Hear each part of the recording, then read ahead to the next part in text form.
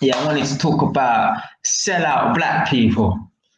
Now, I remember when I was at my last job, I was a supervisor and I got to know a lot of people. Well, everyone on my construction site knew me because I was an important person. Not trying to blow my own trumpet, but my job role was really important. And I started to know a lot of people on other teams. And at lunchtime, I used to sit down with some of the older black men who were electricians, but they weren't on my team. So I didn't supervise them, I didn't manage them. They were just electricians on another team. And got talking to these older black men. It's good to talk to older people, obviously, because you can they can teach you stuff. You know, we were talking about business and property and that.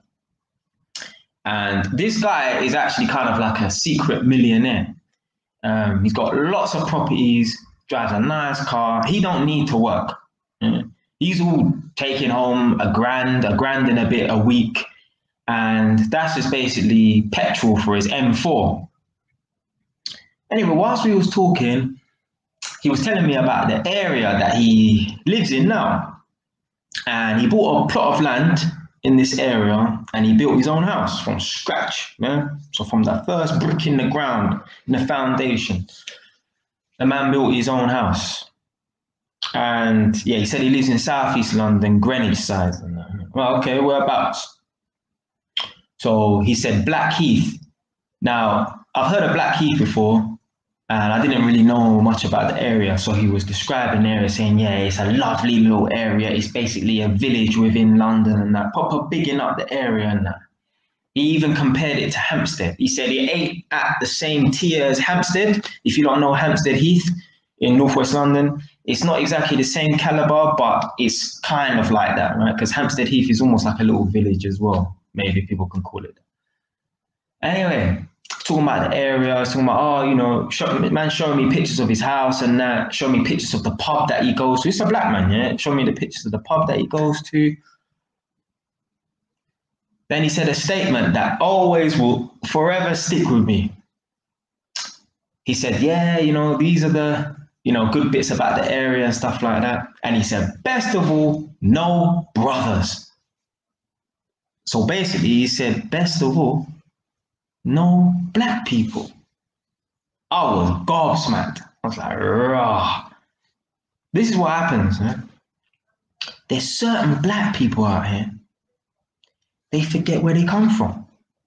Now, I'm not going to go too deep in this video because this is the kind of video I need to make my notes about, but I'm just going to touch on it briefly. When I do make a proper video about this, I'm going to go in. There's certain black people, they forget where they come from. They forget that they're from Tottenham, Hackney, Peckham, Brixton, Edmonton. They get a bit of money, then they move to a nice area. Man are having amnesia. Man are actually having amnesia. They forget where they come from. They get money, they buy a decent property or whatever, and when they return back to the ends where they grew up, probably where their mum's house is still dotted, they act like they're posh. They act like they're middle class now all of a sudden because they've moved to a nice area. What kind of madness is that? You know, there's people, right? They, and I was talking about this yesterday in one of my videos. I made a video about Londoner living in Northampton. I don't know when I'm going to release. I'll release it in a couple of days now that I've mentioned it. I think that video is a banger still. There's some people, say for example, someone like me, right? They would live in Edmonton, yeah? a poor, broke area. Yeah? the hood, yeah, the ends. They get a little bit of money or whatever, they save their money, they're smart with their money, they buy a property in a mediocre area, quay away, yeah, outside of London. Yeah? They might not go as far as me, they might go somewhere like Essex, Basildon, them kind of areas there. Yeah? They will act like the place that they live is a nice posh area or is way better than Edmonton.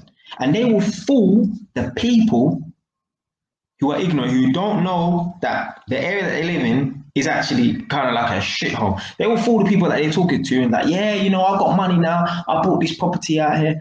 When really and truly, the area that they live in is a broke area, just like the area that they come from, like Edmonton.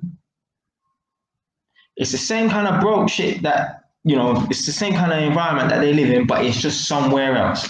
And what they'll do is they'll pretend that yeah, oh, you know, their area is really nice and that because they know no one's going to investigate where they live. This is how some. This is how the fake people pull the mask, pull the blinds, pull the wool over people's eyes. Can't do that to me. Can't do that to me. That's like me pretending that, oh, you know, I live in this uh, amazing three bed house in Northampton and stuff in the area somewhere. Where I live in Northampton is exactly the same as Edmonton in North London. It's a broke area. I would never even try and pretend that, oh, yeah, you know, it's a really nice area. It's just not as bad it's not a bad area or whatever, is it? It's just a broke area. It's just a humble area, isn't it? There's no way that I could try and pretend that I'm upper class now or I've got money now just because I never forget where I come from. I know, man. I know, man, from Edmonton who's moved out and stuff, and now, you know, I met a girl before. She said, "Oh yeah, I used to live in Edmonton. Like I was speaking to her outside of her mum's house, and she was like, "Yeah, this is my mum's house. Whatever. I live in Essex now and stuff." And she thinks she's that. Stupidness, man. Never forget where you come from. Me, man, pledge allegiance. I will always be an Edmontonian. Never forget where I come from.